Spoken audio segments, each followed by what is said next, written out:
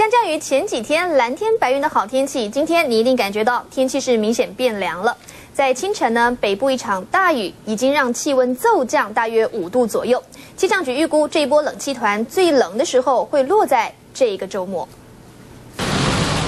阳明山花季周末就要正式登场，不让山上的樱花专美于前，都市里小公寓里的樱花也热情绽放，让民众纷纷拿起相机记录这美丽的景致。只是相较于前几天蓝天白云的好天气，今天起想赏花的民众可要多带把伞了。为东北季风加上还有一些南方云系的影响，所以全台都是有一些短暂雨的情况发生。温度比较明显转变的时候会落在明天。受到新一波大陆冷气团南下的影响，北部地区气温将会像溜滑梯一样往下滑，最冷的时间将会落在这个周末。影响最明显的时间是落在星期天和星期六这两天的时间。北部跟宜兰地区的低温可能来到十到十一度左右，中部地区十一到十二，南部跟华东地区十三到十五度左右。除了提醒您要注重保暖，气象局也说这几天浓雾的情况比较严重，预计要搭机的民众一定要多留意航空公司资讯。